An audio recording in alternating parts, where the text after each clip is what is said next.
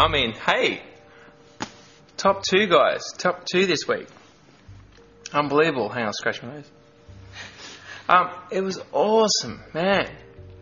Really unexpected though. Um, but man, I guess I've got you guys to thank for that, and you guys truly champions. Hey, you guys are awesome. Seriously. Um, um, man, it's unbelievable. It's so nice. To, it was so nice to sit there with Matt because we're really close now. We, I mean, the four of us are really close, but me and Matt were like sitting on there going, "Wow, man, it's unbelievable." Um, man, yeah, top two guys. How good is that? Woohoo!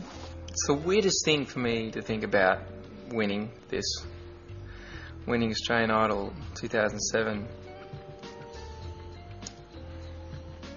I remember when I just when I first first audition, it would be like, ah, oh, it was just, oh, how cool is this?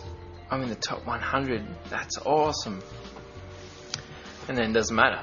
And it didn't matter what happened after that. It was just I got in the top 100. But um, man, it's insane.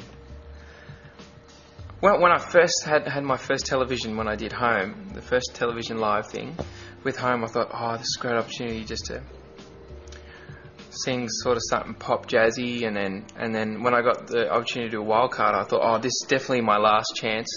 I'll just do. That's why I did such a strong jazz sort of piece because I thought, well, I just want to get that in people's living rooms and and um, and yeah, I honestly thought that was my last chance. And then when I got through, I was just like, oh, how bonza. And man, it was just great. So. Oh, it's just too weird to think about winning it. But um, so I'm just sort of taking it week by week and just I don't think about winning it too much because that's just too full on for me at the moment. Yeah.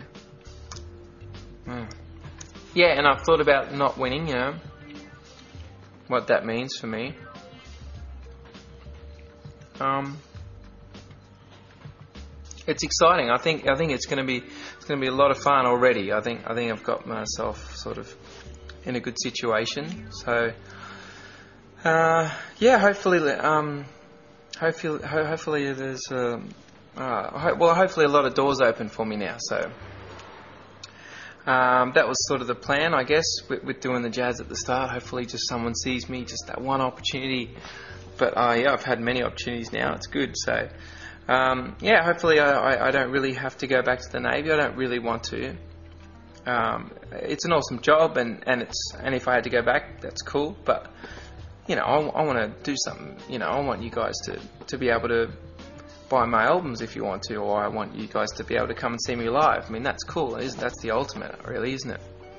So, um, so yeah, yeah. I've I've thought about what I want to do if I don't win, and, and that's go on tour and and um, and and do a, do a, do an album pretty much. So pretty much do the same thing as the winner, but differently, I guess. Hmm.